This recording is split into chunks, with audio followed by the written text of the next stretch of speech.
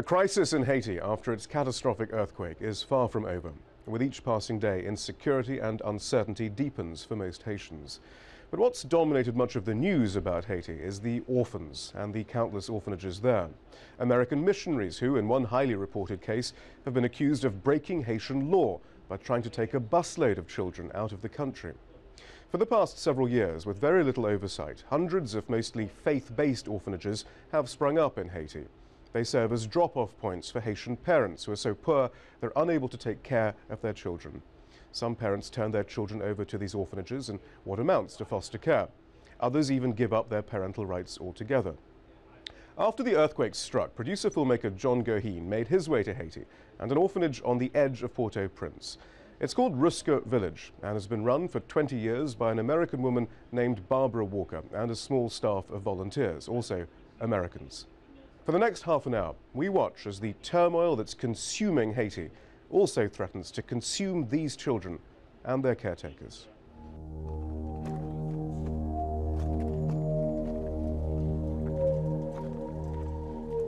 My orphanage is called Ruuska Village. Feel it? We're moving. It's an earthquake. Feel it? Feel it? Oh, oh, I felt it. Oh no, the whole room went just like that about four times. I imagine it was at least a five point. I'm not sure, but the whole building, we were in here sleeping with the babies in this room and it started shaking. Fortunately, we were all up so we could grab the babies and come outside. My heart skipped a beat with all those babies in the building. These aftershock hits, they're quite heavy. Some of them are, uh, well, actually quakes. I've been in earthquakes before, but this was just so large. The whole building shook for at least three minutes. This is one of the houses that uh, a lady and several of the children live in, uh, the orphan children that are getting ready to be adopted out. And you can see that you're looking at the rest of the neighborhood through the back, back wall of her house. I hate to complain about what's happened to us because everybody else got hit so much worse. We lost nobody. We had such minor injuries. Uh, and there's terrible stories out there. A wall fell on her. I think she's gonna die because by the time when I find her and she already have infection on her face. She's doing a whole lot better now because we try to take care of her. And I have two of my parents, I'm not even see them yet. I don't know where they are.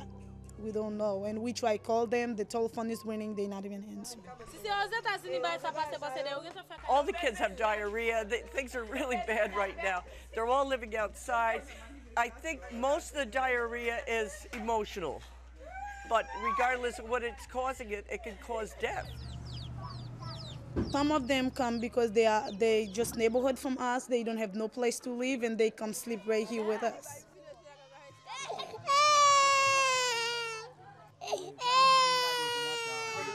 This is a survival mode down here. This is what people do.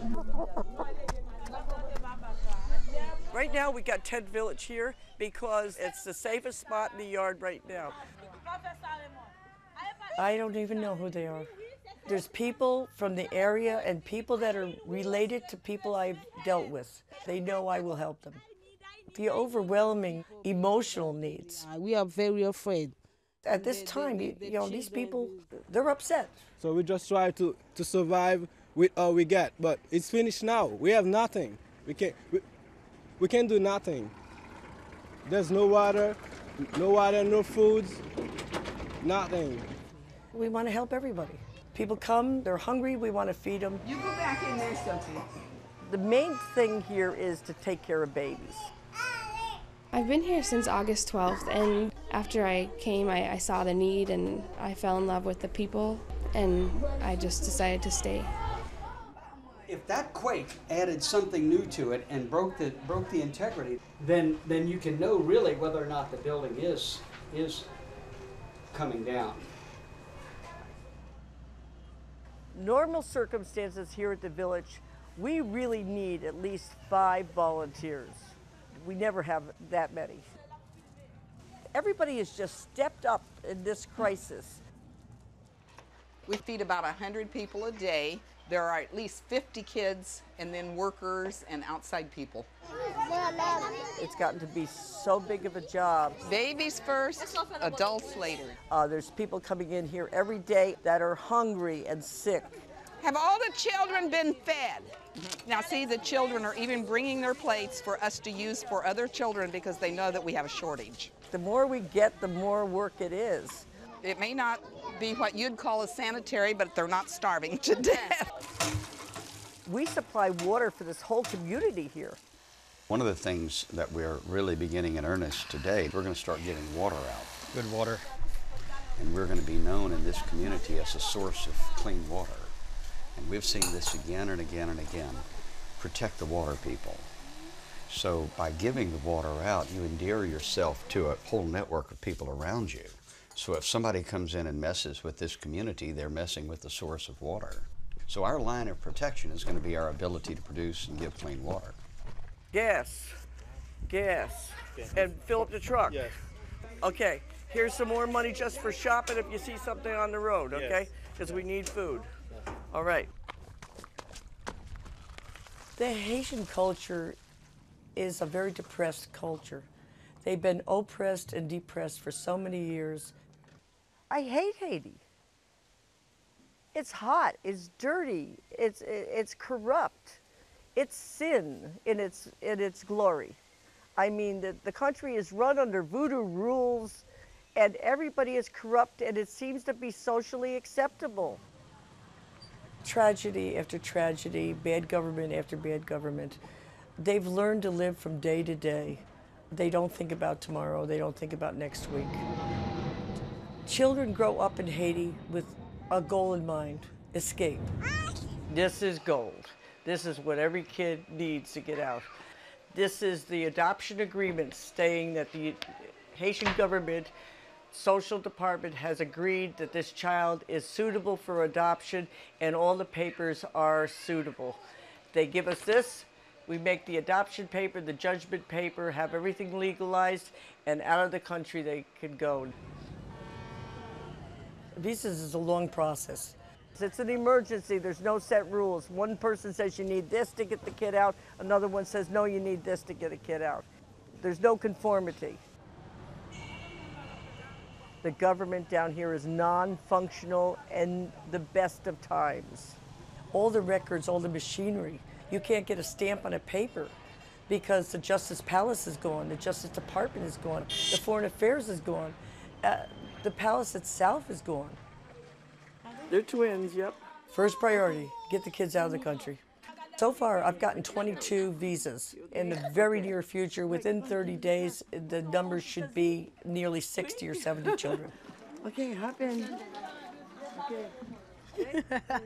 this is a perfect example of what is happening uh, here at the village. People are coming in, they're saying their houses are all caved in, they have no place to live, and please, please, please take my baby.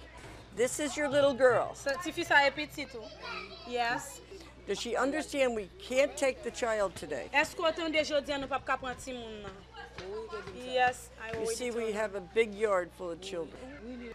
This lady is willing to give up this child, even though she's healthy. She's been doing the best she could for this little girl. The rules are very, very strict down here, but I cannot, a penny of money means I'm buying a child. It, there's a fine line there, but it's also going to make her life a whole lot easier. She can sleep easier at night knowing that somebody else is taking care of that child and nobody's going to break in and kill her. Every single day, we're turning away five to 10 kids. They're begging us. I mean, they go away mad because we won't take their children. At this time, we've got such a tragedy going here and all these children that we're taking care of. We cannot take her child today.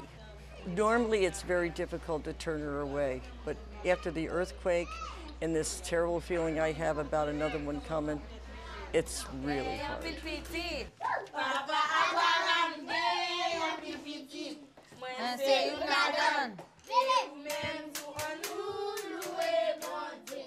We have a real sick baby. Now she's very dehydrated and you know and she's been throwing up and so a, a, baby too can get can go down downhill it seems so fast and then it takes forever for them to catch up again. They're all kind of out of sorts and stuff just because they're not living in, you know, their normal um, living conditions. They're all outside sleeping in the dust and debris and dirt. It's hot and kids get sick quickly here. Okay. Can both of you go on a motorcycle? Ask her. It's, it's critical. Right now, Bella is in a critical position. There's no quick way of getting in and out of the village to the main road.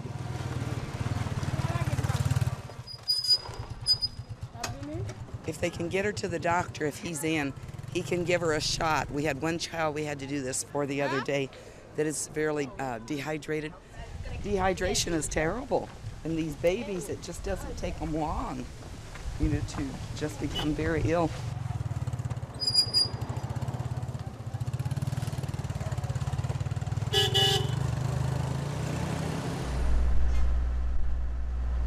Diesel is very hard to get. Everybody is gouging.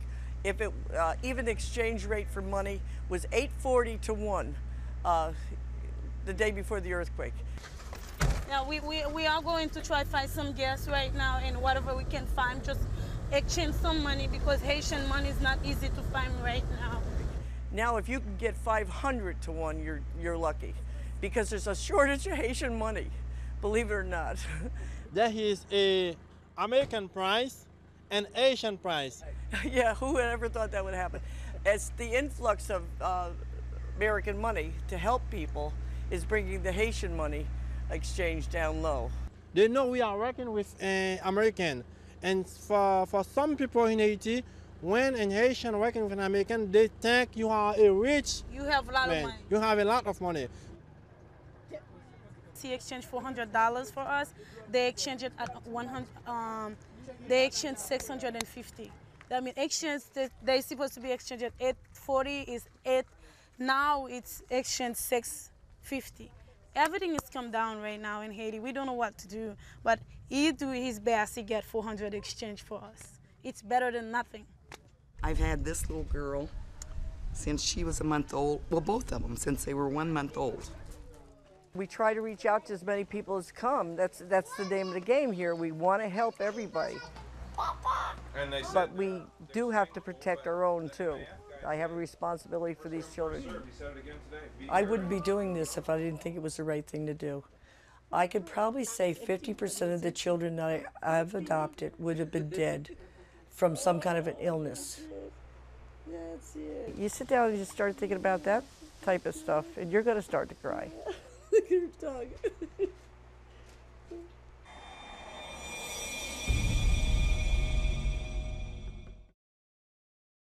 On the edge of Port-au-Prince, in the wake of last month's earthquake, the Ruuska Village Orphanage has struggled to continue operating. For the past 20 years, funded primarily with donations, they facilitated nearly 800 adoptions for the children left in their care. But now the ruin left behind by the disaster has added new urgency to their life's work.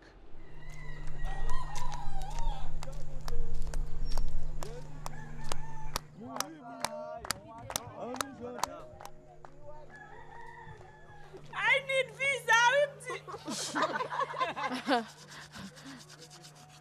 We're gonna get six kids out of here.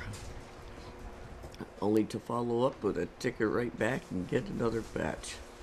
David and Stephen are leaving for the U.S. Me too. Not you. No, David and Stephen.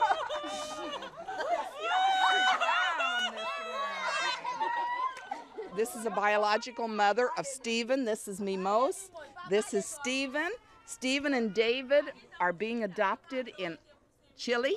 She was very excited when she heard he was leaving today because she knows there's no way for her to take care of him.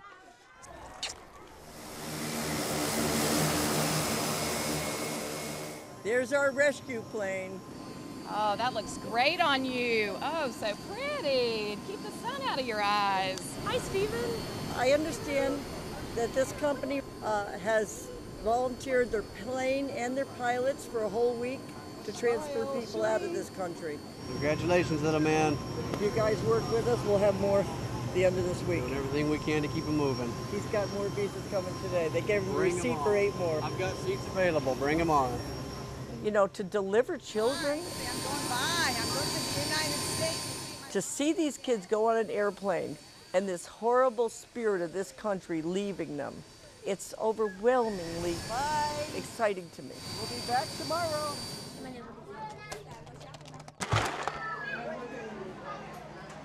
Looking, it's looking pretty good today.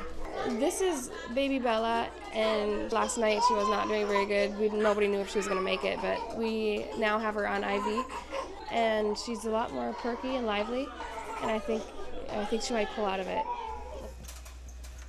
Barbara sleeps in here. Yes, look at this, man. This one's clearly defined. You see that? Oh, yeah. Oh, yeah, I see it right there. I can see there's a whole new crack line right there.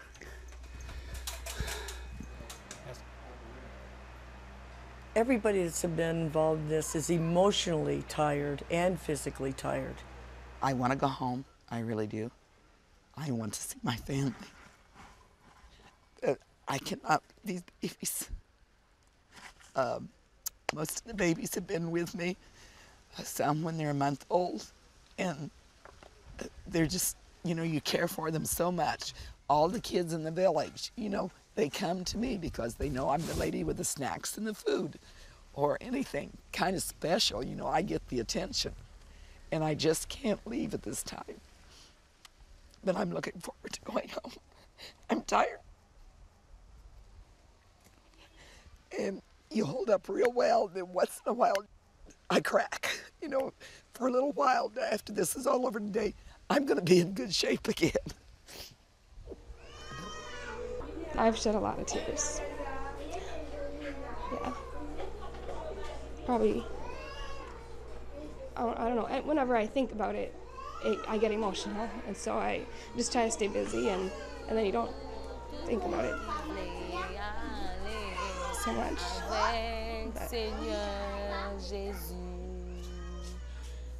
Besoin soleil avec la lune pour clairer nos jours et nuits. Mais la gloire, bon Dieu, va We've got our brains and guts back. You, I'm going to try and get out for Tuesday for 10 kids. We're going to be ready for you. Okay, God here. bless We'll you. be. Barbara's a very hardworking lady. She's worked hard all of her life. She has been a carpenter, a school bus driver, a mother, grave digger. People that are taking shortcuts are, are really making them mad at immigration. Yeah, and they're going to pay. They're going to pay later.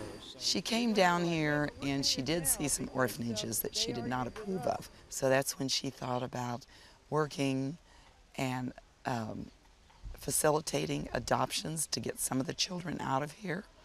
And then she built her orphanage up. What's the matter, honey, huh? Oh. We're gonna try and get you all out of here. Oh, this is such a mess.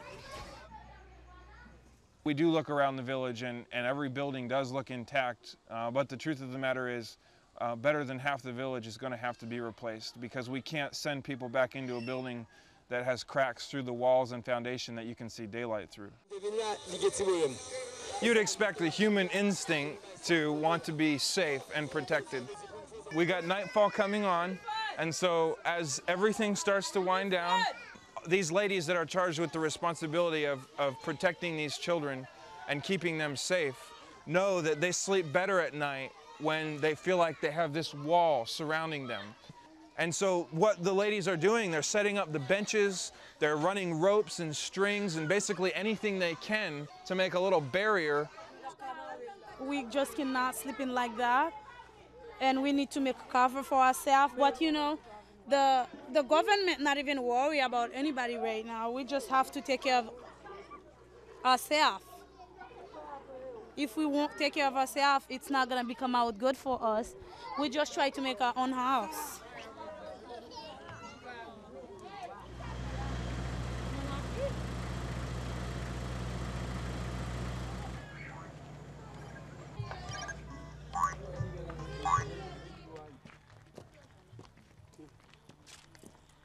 I my hair and taken a bath in two days.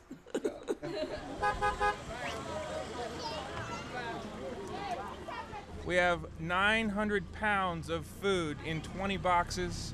It was driven from Cape Haitian to Port-au-Prince overnight, and it's all food, medical supplies.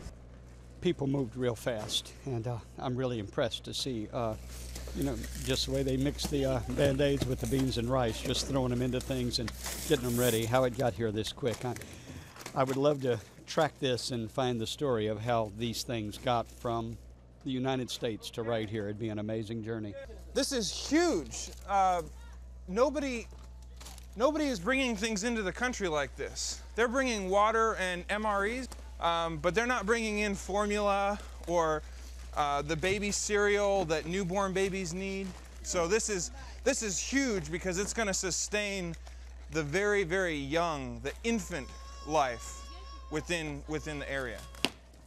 This all came from Miami through an organization there that helps Barbara here in Haiti. Hey, you want to you want to see real happiness? Hey, tell them all that we got diapers. You'll see real happiness. Hey, we got diapers. I've been here 25 years now. I used to say it can't get any worse. It can't get any worse. And that went on for about 10 years when I realized it was getting worse all the time.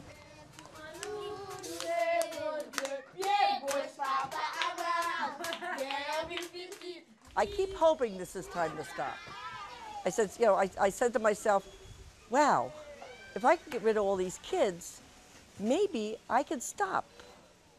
You know, maybe this is what God's telling me. It's time to go home.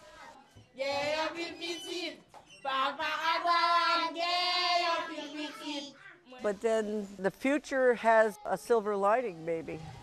People are donating money to rebuild.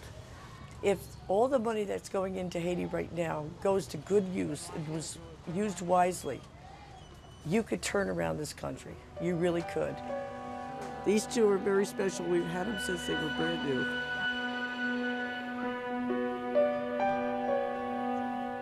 There's a lot of blessings here, and we've saved a lot of kids from a lot of grief.